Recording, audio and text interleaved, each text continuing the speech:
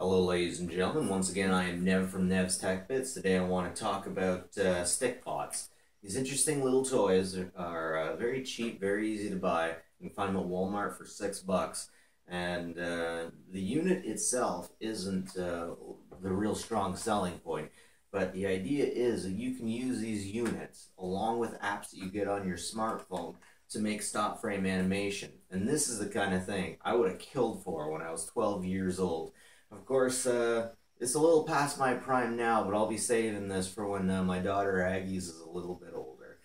It's really neat. I, I made a, I made a few little videos just to try it out, and it works very nicely. I have had friends that have had problems with it. Uh, I think maybe they weren't using the right lighting. If you have good lighting, you should be okay. But just uh, just try some different things. It's just like making YouTube videos. Uh, uh, there's a lot of different things involved in the camera. So really, really neat. They have suction cups on their feet. You know what? Maybe I should just open this. I haven't opened this one.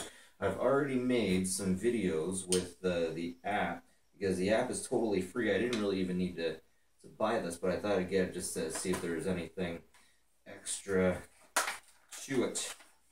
So yeah, the, the standard individual unit is only six bucks Canadian. I'm sure in the States like 50 cents.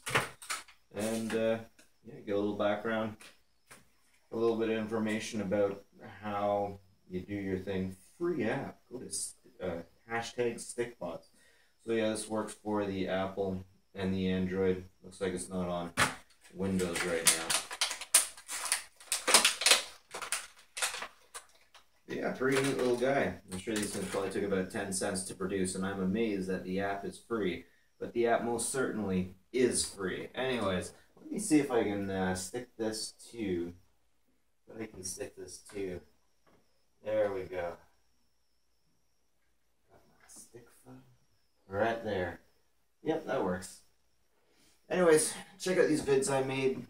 Just little silly things I did with uh, toys I got kicking around for when I have guests. It's it's a lot of fun. If you have kids that are into this kind of thing, I wholly recommend that uh, you get some of these for them because man, you can spend a whole lot of time with this stuff.